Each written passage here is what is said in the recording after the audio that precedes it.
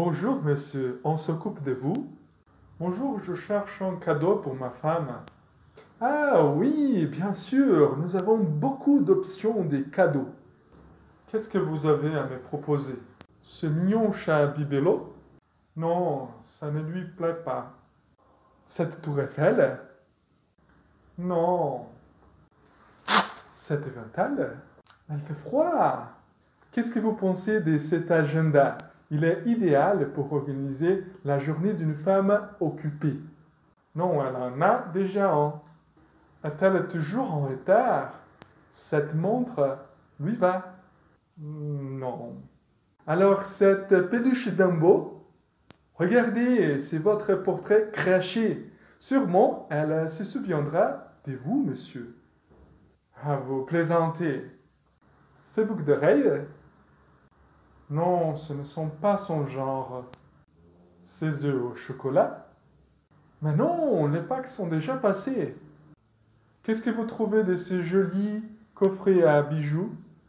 Ce coffret à bijoux le paiera. C'est un joli cadeau, c'est parfait. Observe ces morceaux de phrases utilisés dans la scène et la règle qui apparaît à l'écran. Pour la première phrase, nous avons ce mignon chat bibelot. Donc nous avons mignon chat. Chat, c'est un nom masculin commençant par consonne. Alors on utilise ce. Et après, nous avons cette tour Eiffel. Tour Eiffel, nom féminin au singulier. Puis, cet éventail. Éventail, nous avons un nom masculin commençant par voyelle. Et après, cet agenda, également un nom masculin commençant par voyelle. Ensuite, cette montre. Montre, nom féminin au singulier. Donc, on utilise cette. Et après, cette peluche. Peluche, nom féminin singulier. Après, ces boucles d'oreilles. Nous avons boucle d'oreille. C'est un nom au pluriel. Donc, on utilise C. Et après, ces œufs au chocolat. Nous avons E. C'est un nom au pluriel aussi. Donc, on utilise C. Et finalement, nous avons ce coffret à bijoux.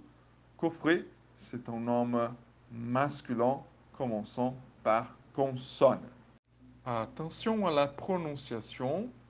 Ce au singulier avec les lèvres arrondies et c'est au pluriel avec un sourire, les lèvres étendues. Un super merci de voir la vidéo. Abonne-toi à la chaîne Français Super.